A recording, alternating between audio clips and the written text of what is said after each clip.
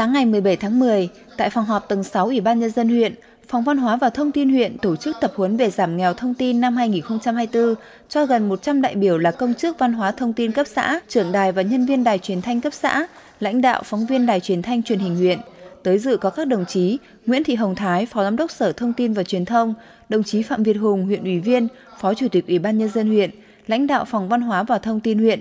Tại lớp tập huấn, các đại biểu đã được nghe đồng chí Nguyễn Thị Hồng Thái, Phó Giám đốc Sở Thông tin và Truyền thông, truyền đạt các nội dung về triển khai phổ biến Nghị định số 49 ngày 10 tháng 5 năm 2024 của Chính phủ quy định về hoạt động thông tin cơ sở,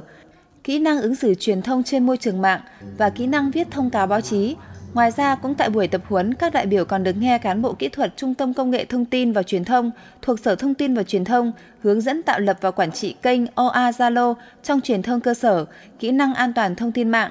thông qua lớp tập huấn nhằm giúp cán bộ làm tốt công tác thông tin và truyền thông tại cơ sở, nâng cao kỹ năng nghiệp vụ thông tin tuyên truyền, qua đó phát huy vai trò của truyền thông cơ sở trong nâng cao khả năng tiếp cận thông tin của người dân, góp phần quan trọng vào việc hoàn thành các mục tiêu của chương trình mục tiêu quốc gia giảm nghèo bền vững giai đoạn